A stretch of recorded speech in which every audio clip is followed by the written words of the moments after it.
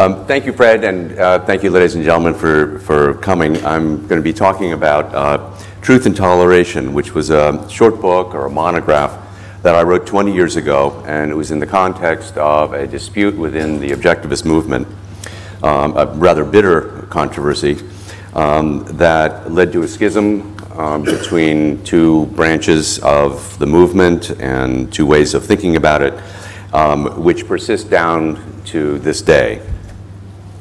Truth and Toleration was, a, uh, as I said, a short book or a monograph. It was at, at both a work of philosophy and a manifesto. And I want to talk about um, both aspects of it today. As a work of philosophy, it addressed a range of issues that um, surrounded the nature of objectivism as a system of thought. Uh, it was also a manifesto declaring how I thought a healthy objectivist movement should function.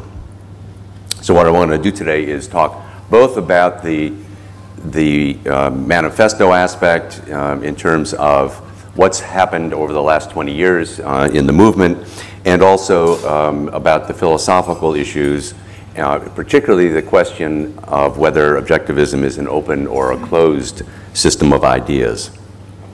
So let me, let me uh, start with the beginning. Um, in the late 1980s, uh, after Ayn Rand's death in 1982, a number of enterprises were started by objectivists at the time. The movement began um, reorganizing after a period of no real formal organization. George Reisman and Edith Packer start, began offering summer conferences at the Thomas Jefferson School.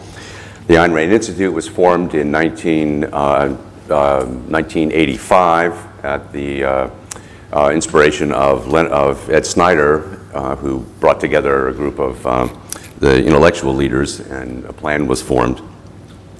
At the time, I was working as an independent um, scholar, freelance writer. I was, um, um, it, I had published uh, my book, The Evidence of the Senses, which would develop the objectivist theory of perception um, at, at a, a, more academic depth. Um, I was active in the objectivist movement. I was on the, the uh, Speakers Bureau of the Ayn Rand Institute, and I was traveling all over the country speaking to student groups. Um, but then, um, uh, here we have the, uh, some of the, okay.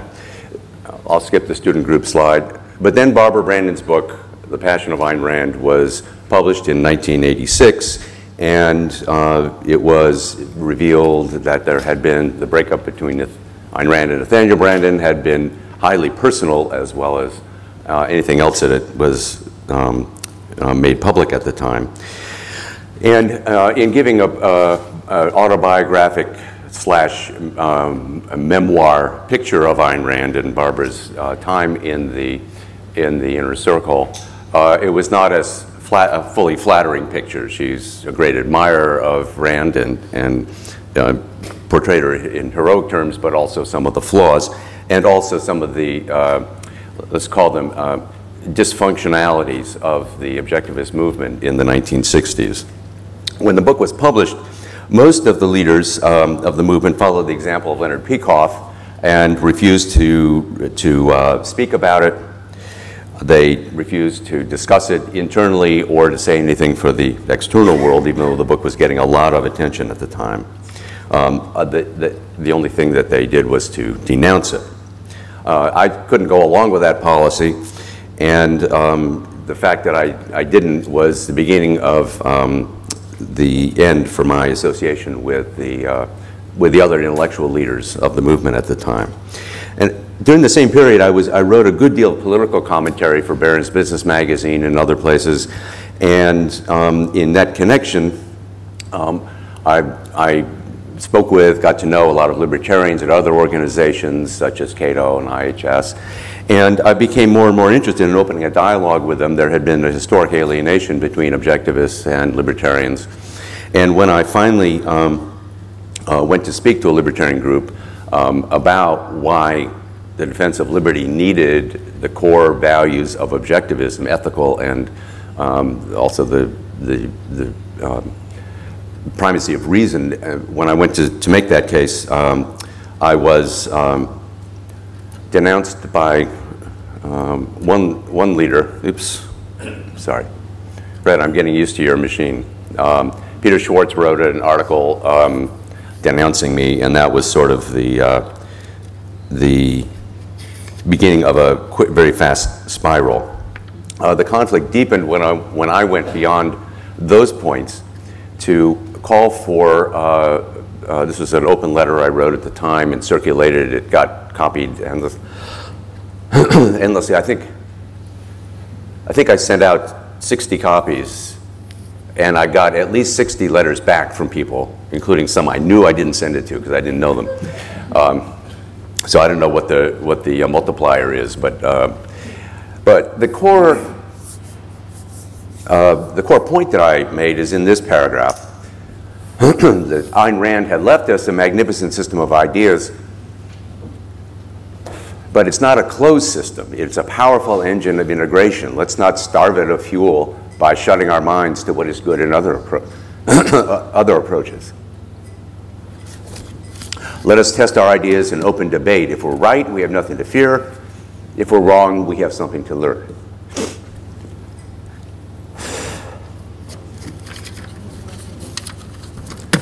Yes, thank you, Rita. That would be lovely. Um, above all, let us encourage independent thought among ourselves. Welcome dissent and the restless ways of the explorers among us. Nine out of 10 new ideas will be mistakes. I said, but the 10th will let in the light.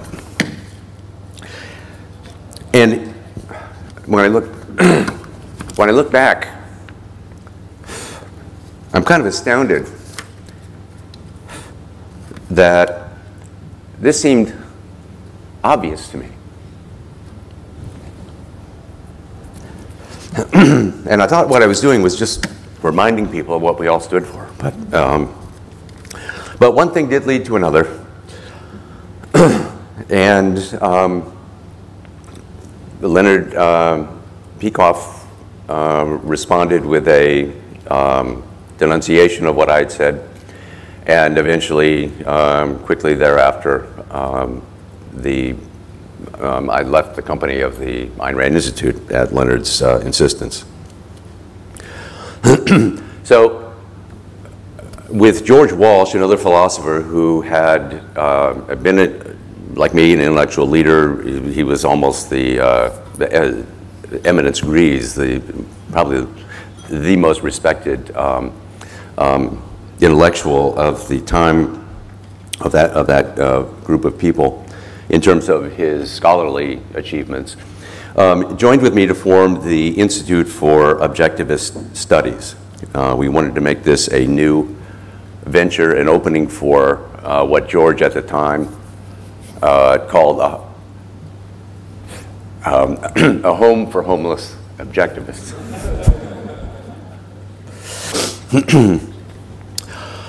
um, and so we launched that, uh, that institute. Um, 10 years later, we, the uh, organization had grown. It had changed its name to the, uh, I'm sorry, uh, at, I'm, I'm, getting ahead of myself. Um, at the same time, I, I published this book, this uh, Truth and Toleration, as a, uh, uh, a pamphlet, really, and distributed. We sold it for a while. And the issues that were raised in that book, and now I'll get to the more of the philosophical content, um, one had to do with the issue of dealing with libertarians. Are we sanctioning libertarians merely by speaking to them? And I argued, no, sanction, you sanction something by saying I sanction it. Um, it's like promising. You can't make a promise unless you say, I promise. Um, if, uh, if you go and I actually, in this one um, event that I spoke at, I, when I was asked, I said, okay, I, I'd be interested in coming to talk can I talk about why I think you guys need objectivism? And they said, can you talk about that? Great, we'd love to hear that. So I said, okay, there's no question of sanction here. um, I'm coming to make my point. I was invited. And that, it, so the whole, this whole attitude seemed um, peculiar, uh, unjustified to me. Um, as you read in the short um, segment I, um, or passage I put up on the screen a moment ago, I argued for toleration, engaging in active debate and discussion, even with people that we know we disagree with. Um, And that was another issue that um, uh, I wrote a chapter about in the book. Both of those issues, by the way, turned out to revolve around a deeper question of what came to be called the scope of honest error. Um, when can you say that ideas are evil and that someone is evil just for believing them? And that uh, was something that I thought was wrongly put, wrongly stated, that um, ideas per se are either true or false. People are good or evil or innocently mistaken, depending on how they got to those ideas. And there are many, there are many ways of going wrong, um, short of gross evasion in philosophy. I happen to know from my own history of, of uh, having to struggle through ideas and correct mistakes. Uh, then there was the issue of objectivism as an open system. Leonard Peikoff had said that it's a closed system, and so I developed uh, my arguments on that score. And finally, um, I said, you know, this movement is functioning like a, um, a, you know, kind of tribalistic way. There's a concrete bound mentality of treating the principles of objectivism as um, formulaic statements and a fear of putting it any other way than the way Rand put it. And also uh, in the movement, a, a, very tribal arrangement with a hierarchy and inner circle and so forth. This is not how uh, a healthy movement works, I argued. So now, 10 years later, um, the Institute for Objectivist Studies had become the Objectivist Center. We um, were, uh, we had done a huge amount, but there had not, and there had, uh, in terms of our developing our programs, there had been many um, online discussions about the issues that I raised in Truth and Toleration. Um, but we were long since had sold out the stock that I had printed initially. So we republished as um, the book as a contested legacy of Ayn Rand in conjunction with Transaction Publishers. okay, so let's move on now to um, the present day. Over the course of 20 years, um, a, a, huge amount has happened in, in some ways, and in other ways, not much has changed. Uh, for one thing, there's the rise, there is, this is a change, there is a, uh, what we call the rising curve of recognition, Ayn Rand and objectivism. Um, as Ed pointed out earlier, um, sales of Atlas have continued at a very high level for, for two decades, rising slowly, and then just recently this burst in connection with um, political events.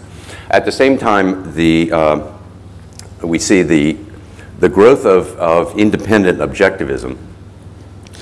Uh, we, we, I think, were the first large-scale national uh, organization to go out on its own, and uh, now there are many, many such, uh, way too many to name. I'll just uh, give you a, a couple of, of, examples. There's Atlasphere, um, that was actually originally came from uh, the idea was was uh, came from Charles Tomlinson, who was one of our close members. Um, Josh Zader took it and ran with it. I, last time I looked, they had over 20,000 members. Um, there's uh, Robert Tracinski's intellectual activist. He was formerly associated with ARI, but um, parted company with them um, for various reasons, and he's now producing this as a daily um, email uh, bulletin. There's the uh, Jefferson School. Um, uh, George Reisman and Edith Packer have also parted company with the Ayn Rand Institute and, and their former colleagues. Um, and the, although they no longer run conferences, they have a very large website and educational programs. There's all these online forums. I picked the, the, the uh, first few that um, were within immediate reach of my browser. Um, the Rebirth of Reason, Objectivist Living, Solo. Not all of these are totally friendly to us. I'm not saying the independent movement is monolithic, that quite the opposite. Um, but the, the point is they are on their own. They have been started to pursue objectivism without feeling any need for permission from anyone above. And finally, of course, I cannot uh, fail to mention the Atlas Shrugged film, which is now being made in uh, Los Angeles by John Aglialoro. And I think, I hope, but I really believe that this will dwarf all these other activities in its impact.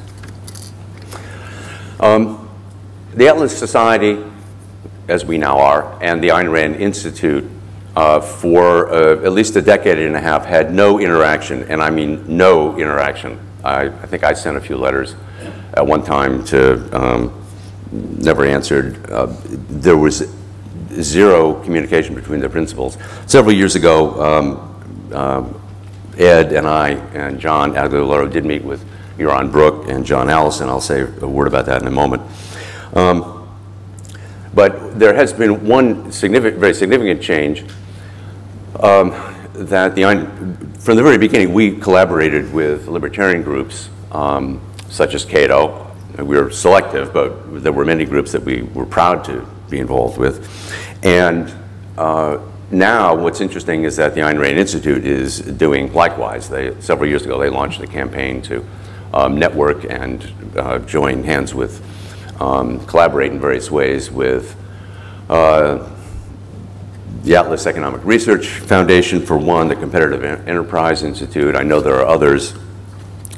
And um, we actually asked Yaron, uh, oh, so what happened here? Um, you're doing something that used to be a no-no from the standpoint that you represent. And he said, uh, well, times changed, you know, circumstances evolve. Um, uh, it reminded me of, of kind of a, a, point about the way movements um, work. There's, this is a digression, but there is a pattern in intellectual groups, whether they're objectivist or Marxist, um, Freudians, Islamists, or whatever. And that is that when the party line shifts, there's still no redemption um, for those who shifted too soon. uh, before, before world historical conditions made it politically correct to do so. Um, however, uh, the, there is still a great deal of hostility. And several years ago, they um, um, began a campaign, I don't know if they're still trying this, but um, to um, uh, lure our uh, board members away from us. And um, they actually said, John Allison and uh, Yaron said, well, we'd like you to just go away. You're an obstacle to our growth. We need, we need control over um, um, the public representation of objectivism. um, and their clubs still do not allow our speakers. They, their book service does not sell my books. We sell, or when we had an active store, sold their works. Um, so in that sense, hostilities have continued as before. Um, but in any case, the issue, it's very clear now that of the issues that were uh, major issues in 1990, the one remaining one uh, is the issue of whether objectivism is an open or a closed system. Sorry. Um, so let's move on to that.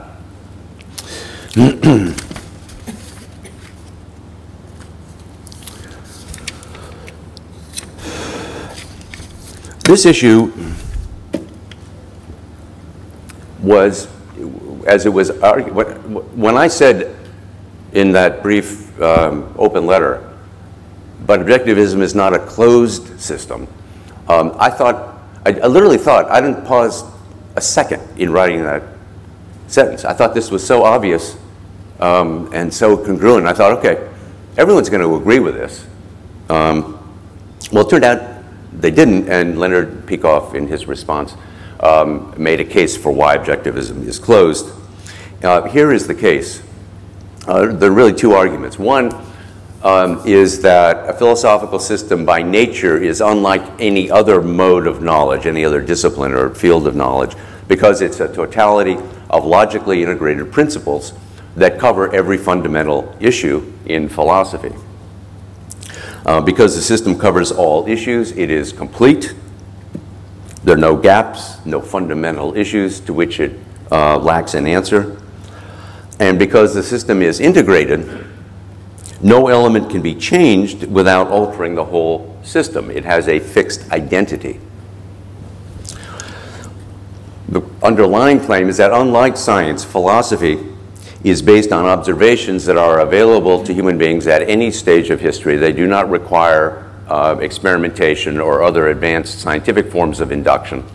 And so there is no new inductive evidence to be had once a genius integrates what's always been available. The second argument um, is that objectivism is a name Rand chose for her philosophical ideas. So in a way, not everyone goes quite this far. Um, not, not every adherent of this position goes quite this far. Uh, but some do and say that it, it is, that means it is her intellectual property, like the title Atlas Shrugged, or her own personal name. And um, those who take it are, are in effect violating intellectual property. Uh, that will not wash in law. I happen to know this because we checked it. Um, but morally, that is the claim. Um, some would even go so far as to say that objectivism is a proper noun. It's not a concept or, or a, a name for an abstract um, view that is, can be held in different forms by different people, but that actually literally refers to some, I, I, I don't actually know what. There's a, I'd love to get into the semantics of, of common versus proper versus abstract nouns. Uh, that's kind of where I do a lot of my, my scholarly thinking, but um, in any case, the point is that objectivism, the result of this uh, uh, way of looking at it, is objectivism means all and only the philosophical ideas that Rand put forward, and or, or herself in her writings, or that she endorsed.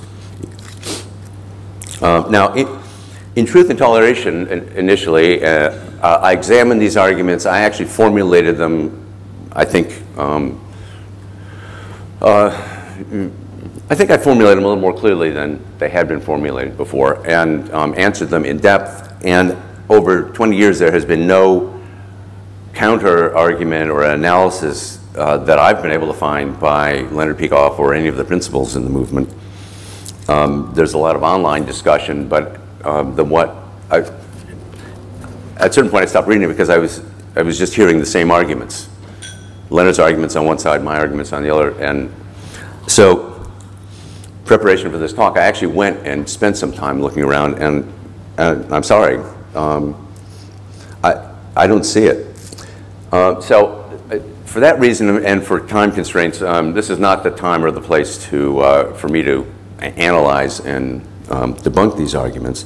It's all there in the book, um, and uh, as I think it was Robert Frost who once said, some poet, I think it was Frost who once said when he was asked to explain the meaning of a poem, uh, Madam, I could only repeat myself less perfectly.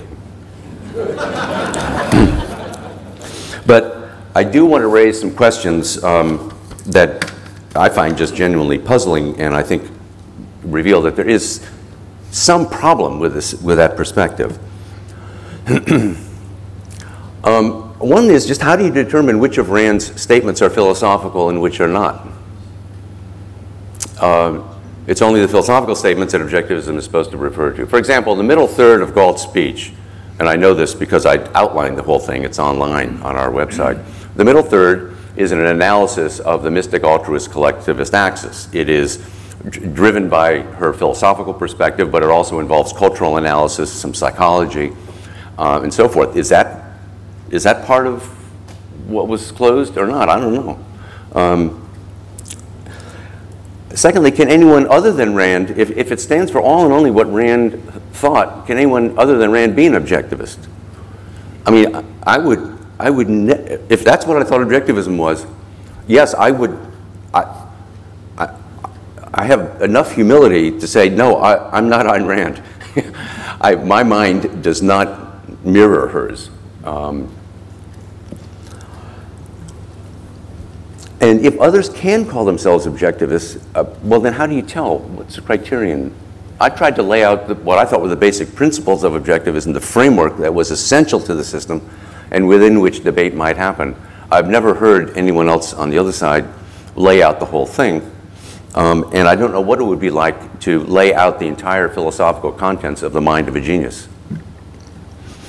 Um, if Rand had not, another question, Rand's philosophy was developed over time as she figured uh, uh, address one issue after another. If she had not gotten around to self-esteem as a core value, but someone else, say uh, a psychologist who was working with her, um, had had originated the, uh, the that formulation of, of, of that, Would that not be part of objectivism? Well, she did endorse it at the time. So, but you get my point. Take any thesis of objectivism. If, if, if Rand had not, if it's, if it's part of objectivism now, the claim is it's tightly integrated with everything else. Well, suppose she just hadn't gotten to that point.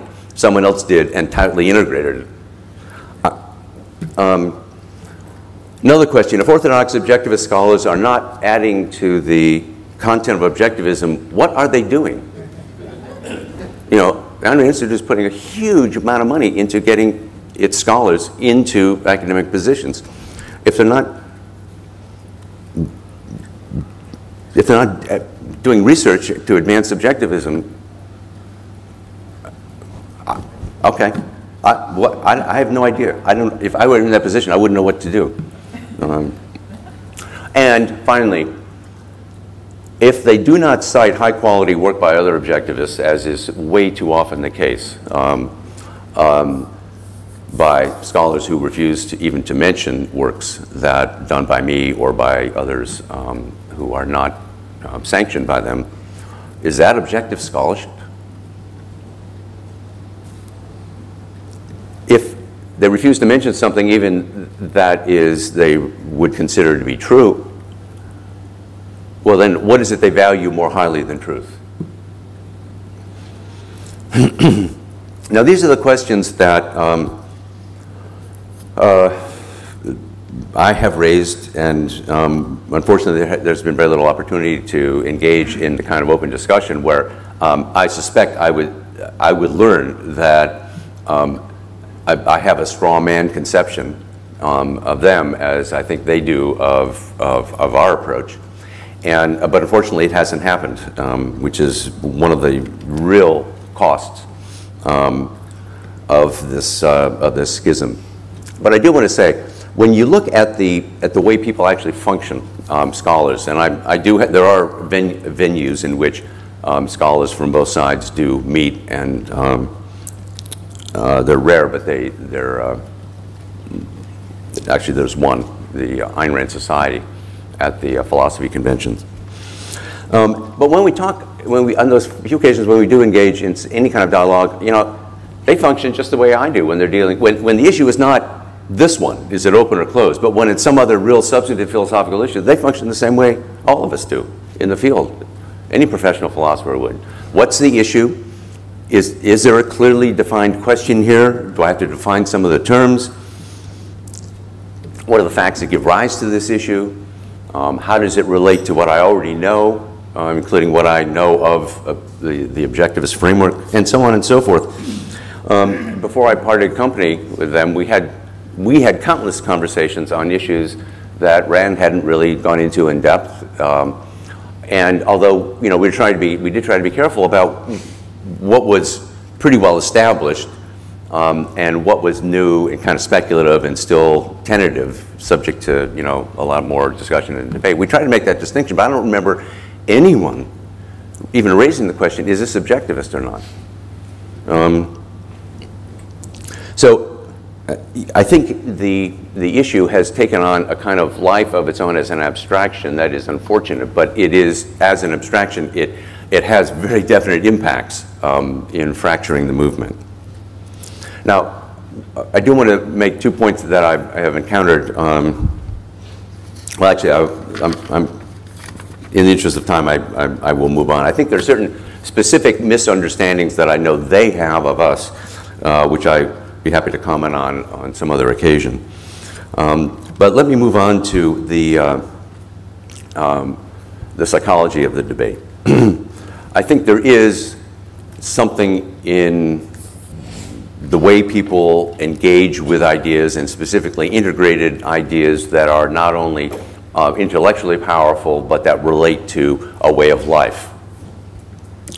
Um, and to a certain extent, uh, there is a psychological factor at work. I think one aspect of it is that uh, has to do with to what extent people have feel that their personal identity is bound up with being an objectivist and being in a certain place in the movement.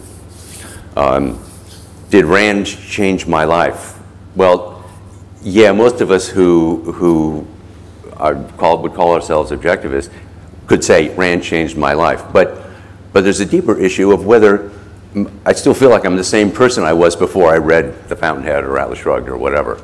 Um, there's some people who say, no, it's like, that was my, that was a, that was my life as an Irish maid in the 17th century. You know, I've been re reborn here as a, um, and that breeds a kind of, of conservatism, or it goes along with a kind of conservatism um, in ideas. It may, to an extent, be just a matter of cognitive style. And it's been said that um, all humans are either Whigs or Tories, meaning they're, they're, they lean toward the more conservative, let's test it before we change, versus that's the Tory that, versus the Whigs. Um, new idea, great, let's try it. Um, but there is in movements, intellectual movements, um, certainly in religions, we see something very similar, the, an entire apparatus of excommunication, uh, apostasy, and so forth. Um, and the, the early Christian church, it's interesting that um, people outside objectivism do not understand why there's such animosity about this among people who, to someone outside the, who's not deeply versed in the philosophy, I, you guys believe all the same things. What's the matter? But there is this pattern. Um, the early Christian church never went after infidels um, and pagans uh, with the same ferocity that it uh, persecuted heretics. Um, in, in Islam, it's interesting, the same Arabic word, bid'ah, um, is, means innovation and heresy. Uh, it's one of the tighter connections that I've found. Um, and I think objectivists, this is one way in which objectivists are, are human beings. We are subject to some of the same motives, impulses, habits, and uh, and, and faults as other people who have gravitated to other uh, points of view. Um, in particular, in regard to innovation, the hard, I think the hard truth is that uh, everyone, at least in America, but everyone loves the idea of innovation. It's exciting, it's romantic, it's heroic. But not many people actually like the reality when they encounter it because it wrecks their lives, it changes their lives, it upsets things, they have to rethink all kinds of things. And so there is a native resistance to it. Um, I do want to emphasize um, in regard to the, um, the uh, psychology of the debate um, that, uh, I'm sorry, in regard to the uh, issue of open or closure. Open does not mean, I've said this many times, but I have to say it every time I can. Openness and tolerance do not mean intellectual lackness sloppiness. Um, there's a difference between uh, regarding a philosophy as closed and maintaining high standards of logic, proof, knowledge of the literature. We maintain those. I, I feel that strongly. Um, the whole point is um, that the in opening the door the door to toleration, I did, uh, certainly did not mean to say, okay, everyone's welcome. You know, when, when I, at first when we started a new organization, George and I noticed that um, we had this feeling that uh, once we issued this call uh, and said it was, it's open, it, it, was like the country tilted and everything loose kind of rolled in our, started rolling in our direction. And um, those were the nine out of the 10 ideas that were mistakes. we, there were a lot of them. Um, the fact is that they're, they're the same standards. In fact, we, I think we apply them more rigorously because, you know, being in an inner circle, um, being in agreement with someone gets you nowhere in, in the arguments as we try to maintain the flow. Um, okay, on to the future, and I will wrap up.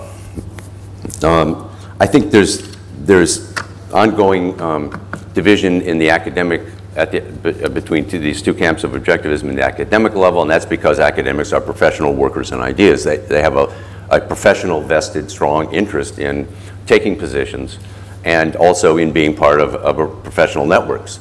That, um, so there's a, a, a kind of built-in resistance there. But at the same time, I have to, I have to say that the academic world is one of the, in, in general, um, is very, very um, unhospitable to any idea of a closed philosophy or to uh, scholars who will not discuss ideas and issues with other scholars for reasons having um, to do with the kinds of things that are grounds for sanction and objectivism. And there have been cases where um, uh, grants, uh, offers to fund chairs from the Ayn Rand Institute or the Anthem Foundation were turned down because they didn't want to.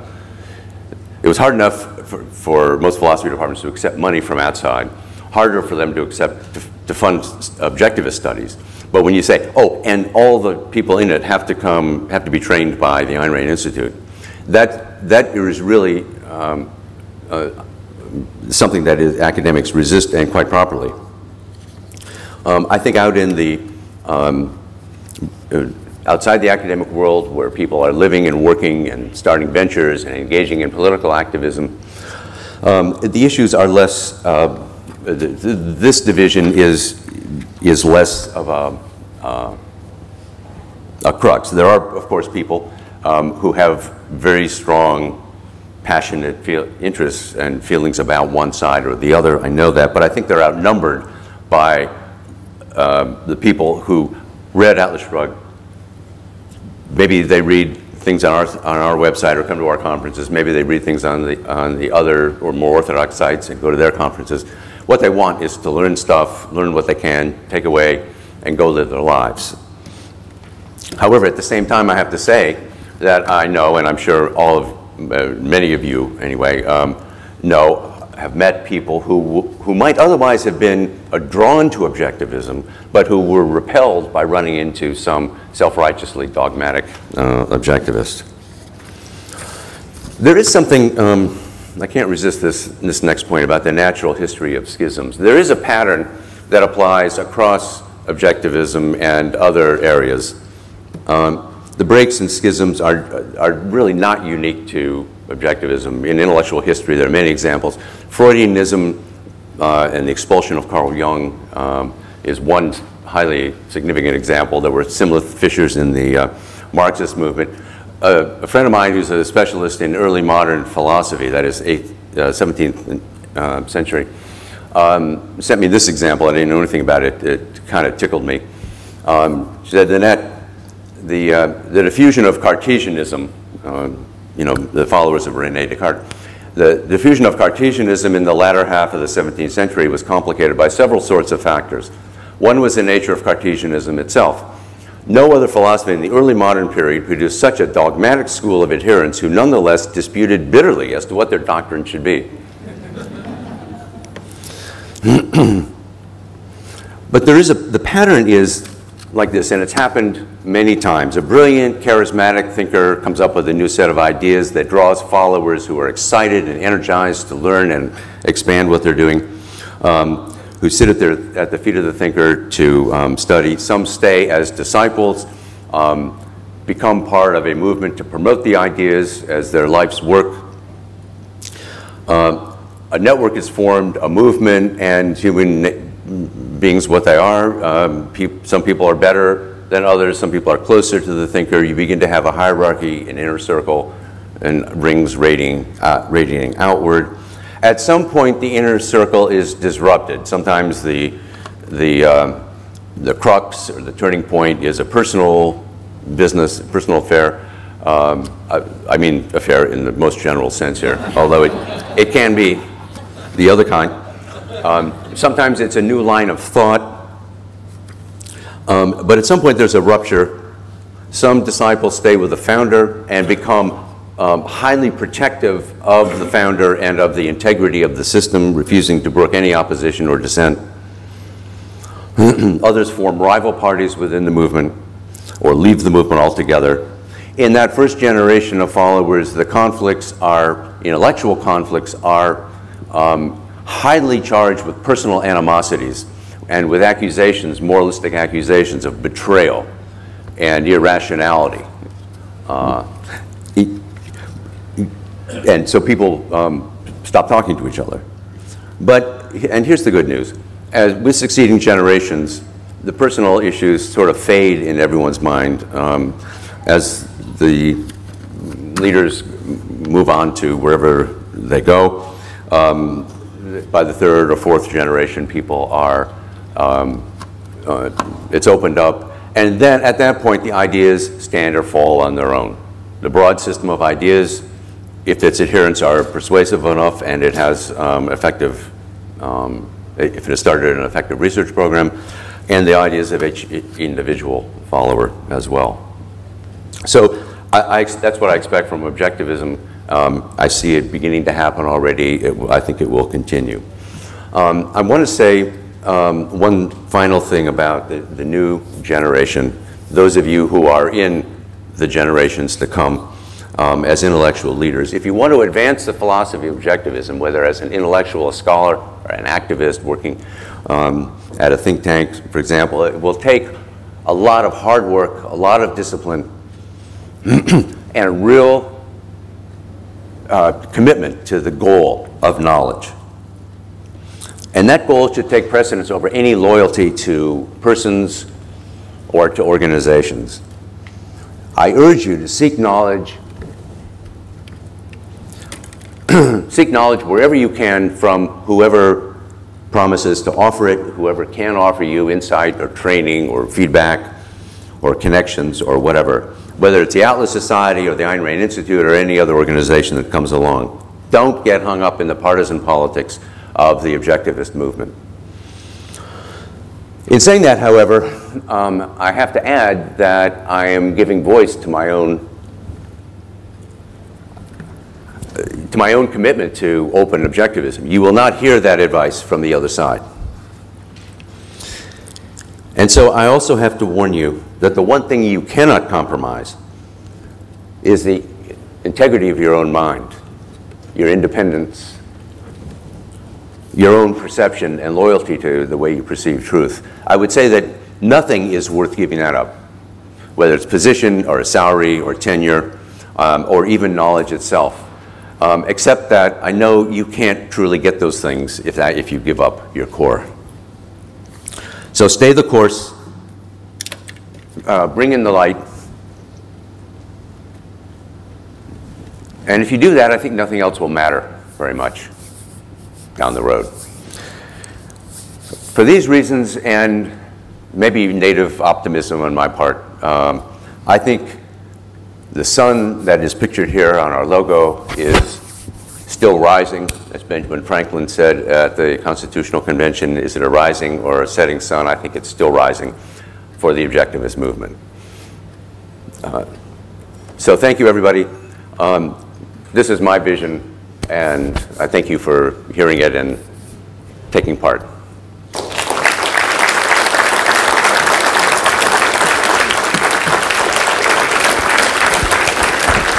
questions, ask them to use the microphone. Okay. Um, I'm told we have time for three questions, and it looks like. Yes. No, Bill. Has the Ayn Rand Institute over the past 20 years changed, and if so, how? Um, well, it's changed in many ways. The, the quickest summary is that um, uh, I think under Yaron Brook, who I believe became its executive director in year 2000, um, it has, I have to, from the outside, it looks as if he's managed it very effectively. It's grown substantially.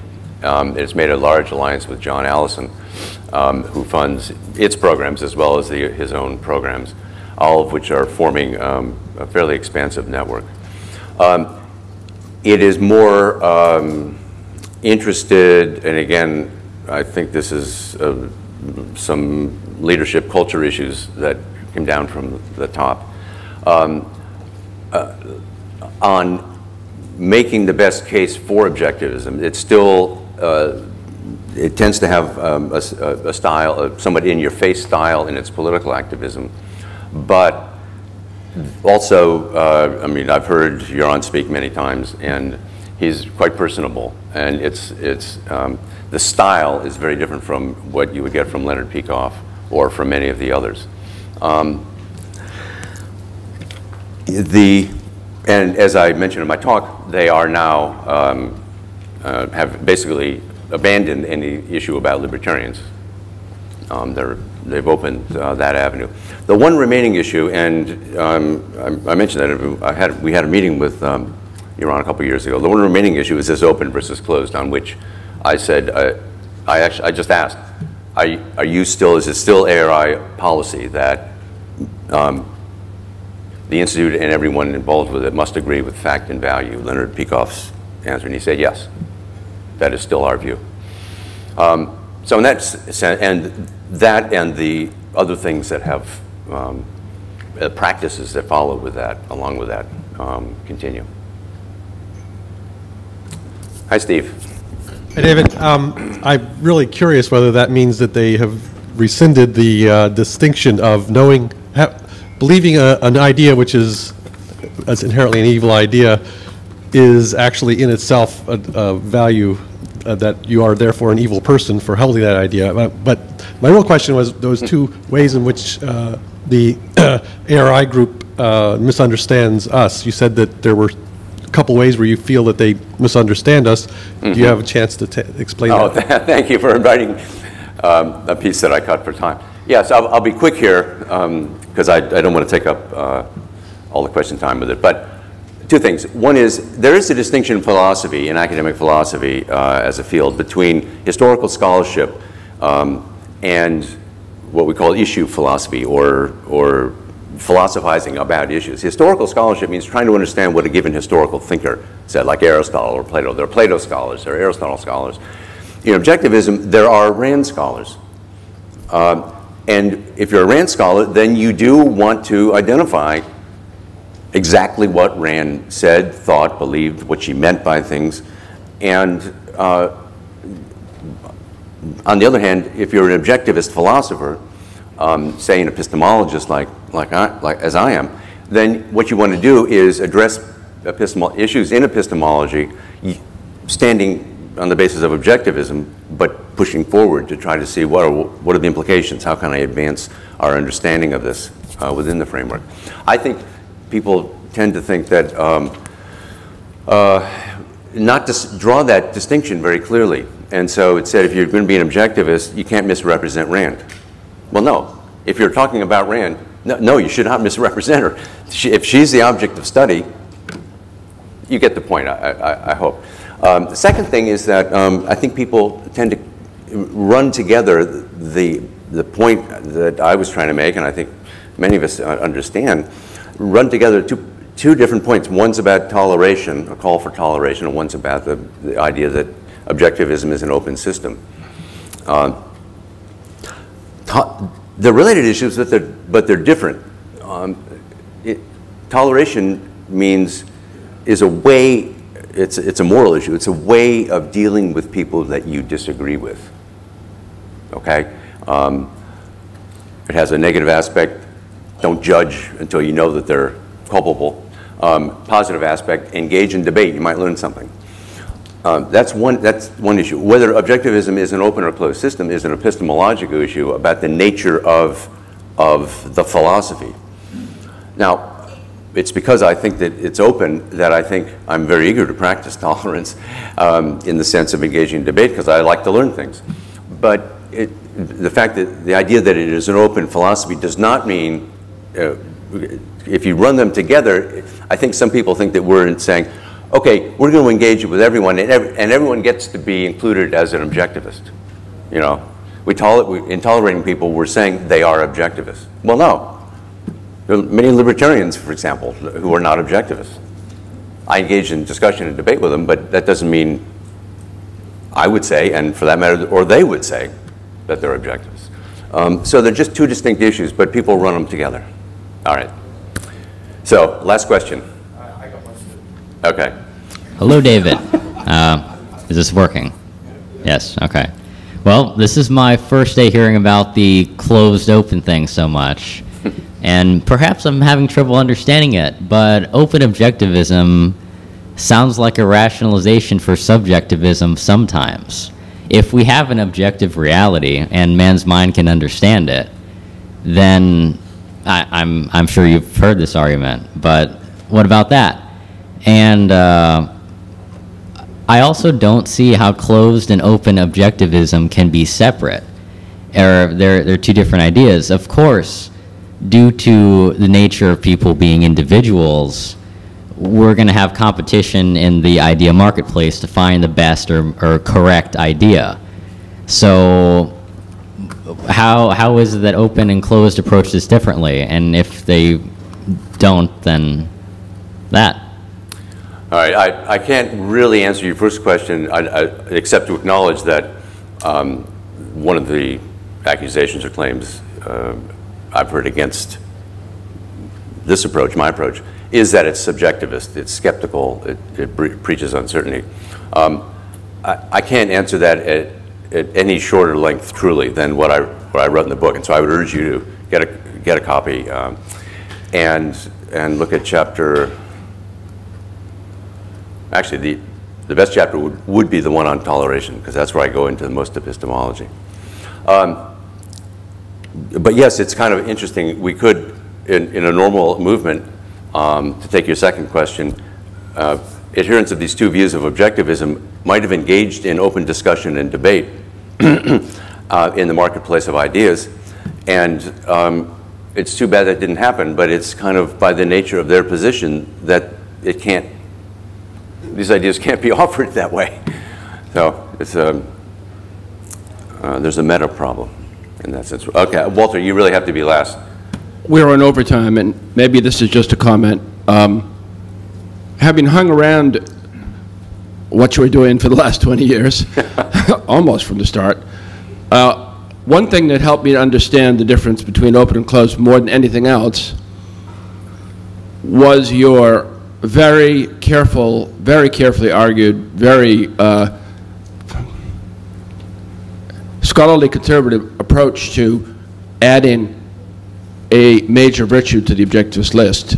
Your argument for the eighth virtue of benevolence. And if I ask myself, is there anything that the open objectivist movement has done over the last 20 years that obviously, arguably should have been in Galt's speech, what was on that level, mm. it would be adding the virtue of benevolence the way you argued so carefully for including it. Well, thank you, Walter. That's, I appreciate it.